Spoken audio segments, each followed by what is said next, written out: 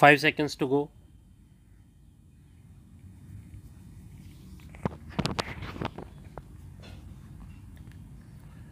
Start.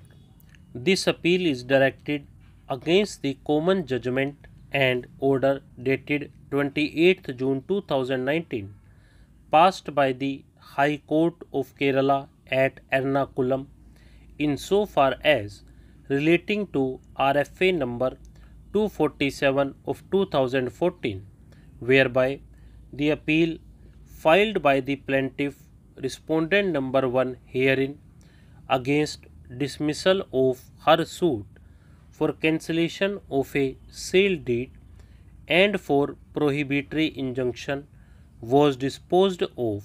with directions to the trial court to decide the suit afresh after de novo trial essentially with the observations that the evidence necessary for proper determination of the suit had not been brought on record. In the impugned common judgment and order dated 28th June 2019, the High Court has decided four appeals arising out of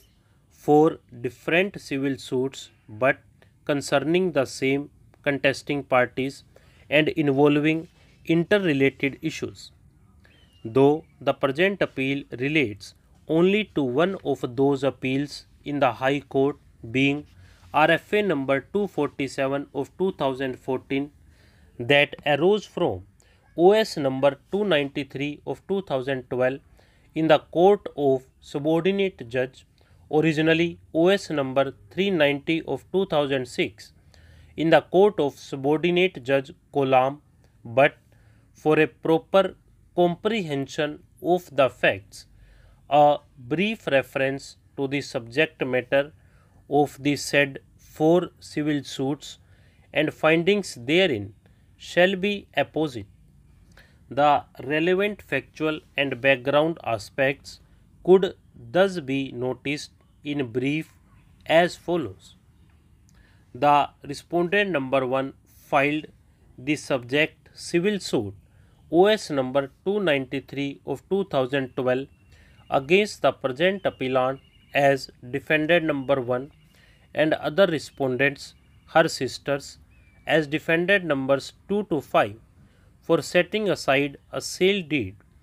bearing number 285 of 2006 dated 15th March 2006 registered in the office of sub registrar the suit schedule property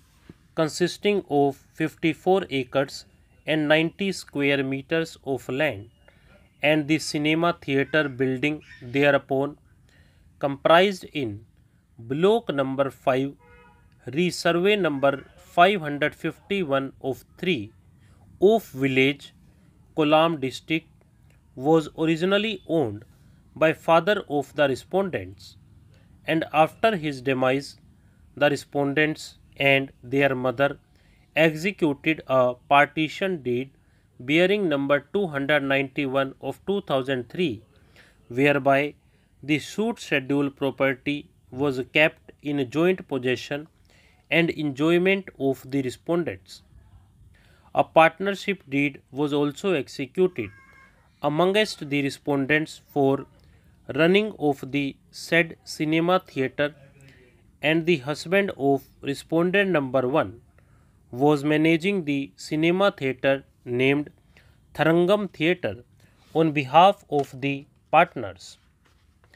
As per the case of plaintiff respondent number 1 on 15th March 2006